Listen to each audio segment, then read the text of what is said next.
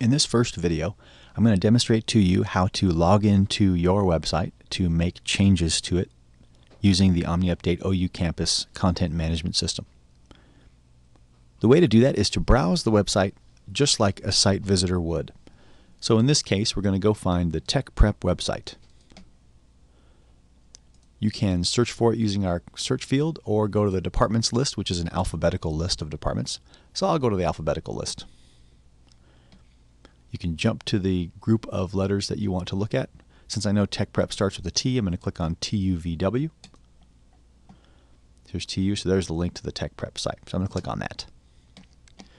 So at this point, I haven't done anything different than a site visitor would. But I want to edit some information on this page, and I need to log in to do that. So once I'm on the Tech Prep site, I'm going to scroll down to the bottom of the page, and I have this last updated date stamp here. It shows the last time the information on the page was updated using the Omni Update system, or in general, uh, even if someone doesn't understand that we have a system that manages this for us, that helps us to edit it.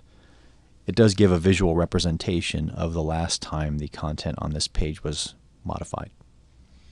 So to log into Omni Update to edit this page, we would click the link here on this page. We would then log in using the username and password provided to, to you.